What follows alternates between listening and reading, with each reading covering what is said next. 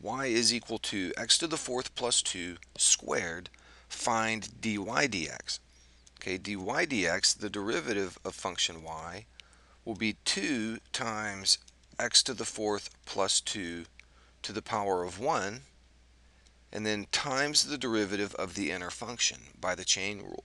And the inner function is this x to the fourth plus 2. So the derivative of that is 4x cubed.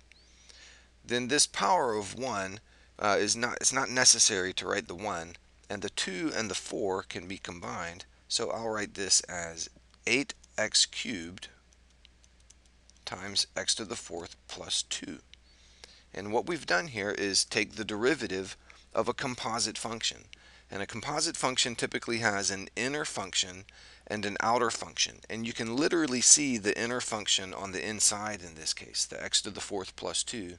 And the outer function is the squaring of the inner function. And so the chain rule says that when you have a composite function, in order to take, take the derivative of it, you do the derivative of the outer with respect to the inner.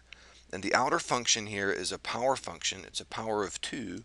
So we use the power rule. It's 2 times the inner function to the power of 1. And then we multiply by the derivative of the inner function. And the inner function is x to the fourth plus 2. So the derivative of that is 4x cubed.